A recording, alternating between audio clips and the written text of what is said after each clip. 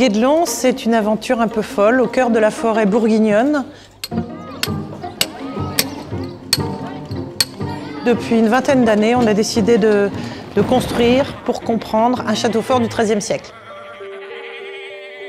Le XIIIe siècle en France est une période fabuleuse. Personne n'avait jamais construit dans notre monde contemporain de château du XIIIe siècle.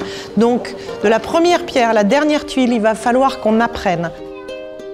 Nous sommes une équipe de 70 personnes, euh, dont euh, une quarantaine qui bâtissent ce château fort. On a annoncé 25 ans et qu'avec cette équipe, euh, rien n'est impossible et les rêves les plus fous sont réalisables.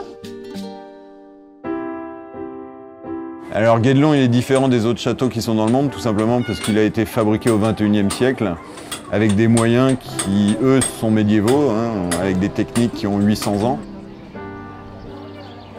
J'ai fait une dizaine d'années de, de chantier un petit peu partout en France. Alors comparer Guédelon avec ce que j'ai fait avant ça va être difficile parce que euh, Guédelon est un chantier qui est unique en fait, c'est de la science, c'est de l'archéologie et euh, ça ça me convient bien. C'est un retour dans l'histoire que je trouve intéressant. Chaque petite pierre a été taillée. Chaque pièce de bois a été abattue à la main, équarrie à la main, euh, tracée à la main par une équipe fabuleuse. Donc ça, c'est magnifique. Et donc là, il y a une énergie incroyable que je trouve complètement émouvante. On a un vrai château en fait et c'est nous qui l'avons fabriqué. Donc moi je suis quand même super fier de ce qu'on fait et c'est quand même une super aventure.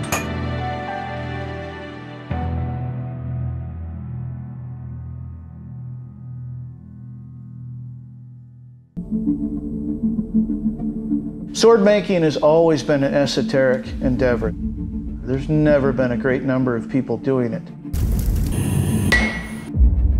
You have this transformation of raw material, the alteration of nature, and in the end, you get something that just exudes power.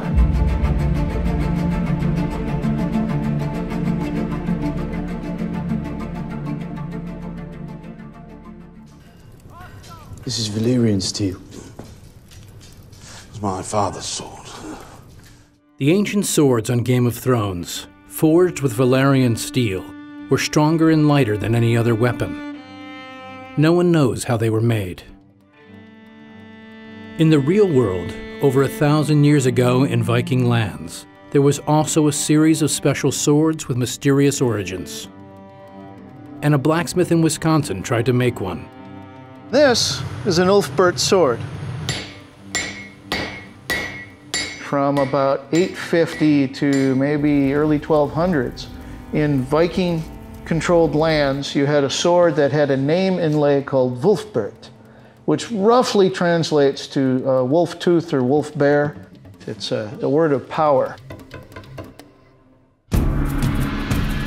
There are only 350 known Ulfbert swords, forged with a quality of steel that didn't emerge in Europe for another thousand years. No one knows exactly how they were made. I think I've come fairly close, or at least a pretty good rendition of how they made those blades. Steel is a pretty special material. We know a great deal about it, and we know almost nothing about it. So with the Ulfbert, you have a mythical steel mirrored in the Game of Thrones, where you have this steel that no one's able to reproduce, that black Valyrian steel. Sword making technology still holds a bit of alchemy, a bit of mysticism in it. We want to believe that there's something that we can't understand. There's still mysteries in steel.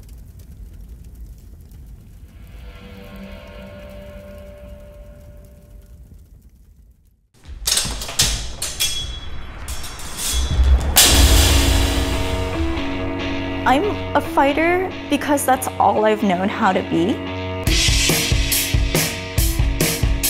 My name is Tanya Smith, and I'm a competitive historical fencer.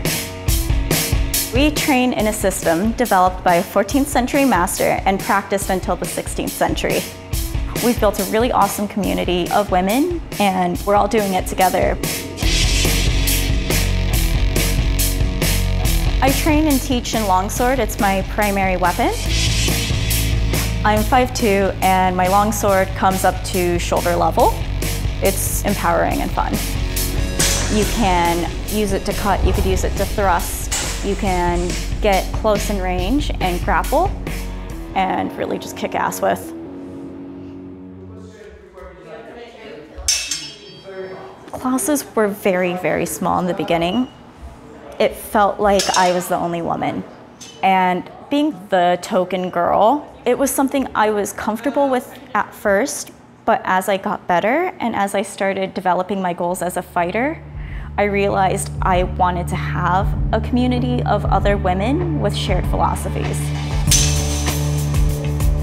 An event I planned was a women's tournament, one of the first of its kind in the US.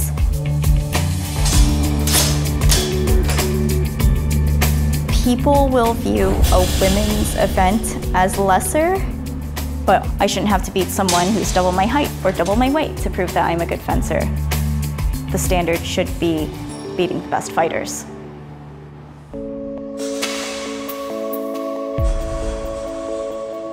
Women make good fighters because they want to be there. They put their heart and souls into it. You don't do this because you're forced to be there. You don't do this because there's an expectation to be there. They do it because they're passionate about it.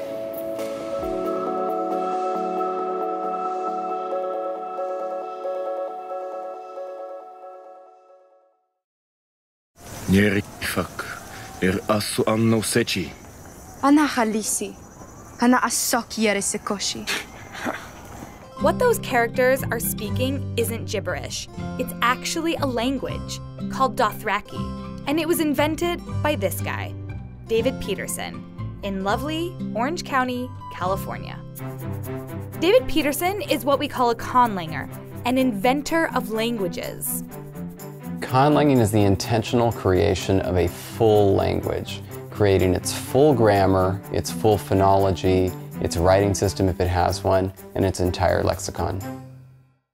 David has written many languages, but the first one he wrote was back in 2000. I was taking an intro linguistics class at UC Berkeley in 2000, and it was just one day during class I started scribbling on my notes my very first language. He named it after his girlfriend. Megdevi. And according to David himself, it's irredeemably awful. It's just not, it's not worth even considering anymore. Everything that I was doing with this language was just a kind of really fancy, bizarre way to speak English. So I kind of just started over and said, all right, ground zero, how do I be a language creator? Before we move forward, let's take a quick step back and talk about the godfather of modern conlanging, J.R.R. Tolkien. You probably know this name because he's the author of The Hobbit and Lord of the Rings. He created 14 different languages for use within Middle-earth. Quenya and Sindarin are probably his most famous. He was the very first person that we know of to create languages just for fun, and we've been kind of emulating him ever since. Now that we've cleared that up, we can move forward. We're here in California because we're curious about what it takes to create a successful language. David's having two of his friends who are also conlangers come over and speak with us. One of them brought ice cream. We were gonna do this outside, but it's too hot, so we're gonna do it inside. The three of them are talking about how languages are created, and they've come up with five steps.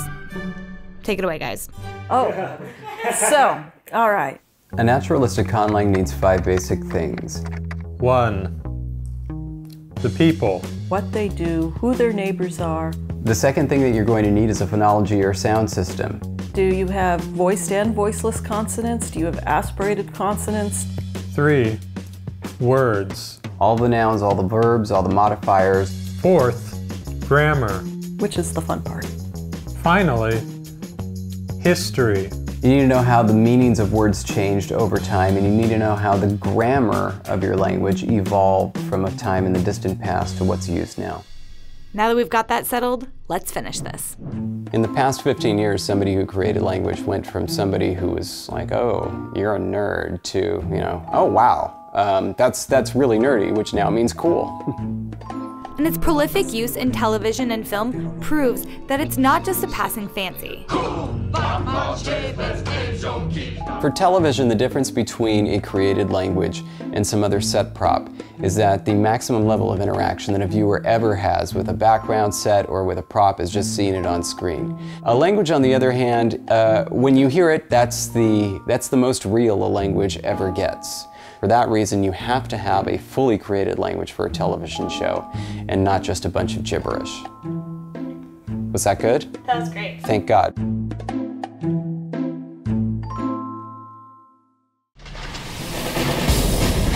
It's punching, it's kicking. Armored combat is sort of like uh, MMA but with weapons. To me, this is the ultimate combat sport.